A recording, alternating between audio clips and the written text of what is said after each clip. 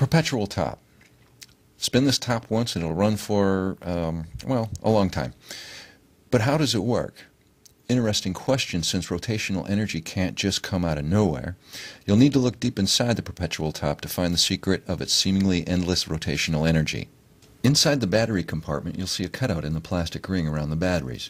This allows light from the alternating red, green, blue LED to be reflected through the clear plastic rim of the top's casing. Remove the plastic ring surrounding the battery compartment and the basic electrical circuit can be seen. As the top is given its initial spin, a small metal bar at the end of a spring moves outward and comes in contact with the metal plate located on the outer ring of the top. By removing the bottom of the battery compartment, you'll see that attached to the bottom of the casing is a small flat disc about the size of a dime. The disc has two connections, one positive, the other negative. Removing the top of the disc casing reveals the components of a very small motor. Looking closely through a magnifying glass, you'll see that placed on a tiny axle is a rotor that has two copper coils. The coils are located to weight one side of the rotor.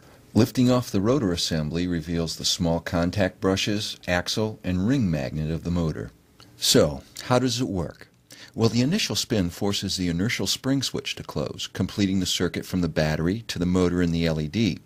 Because the rotor is weighted on one side, it creates a rotational wobble as it spins. In addition, the motor is providing torque to the top in the opposite direction of its rotation, Newton's first law. This wobbling rotational impulse is much like a child swinging their legs on a swing set. This gives the top its impetus to spin in its original direction.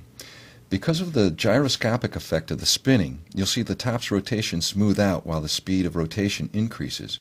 Since the top does not have a bidirectional motor, you'll also notice that it only works in one direction, clockwise. The same input that allows it to perpetually spin to the right also prevents it from spinning much at all to the left or counterclockwise.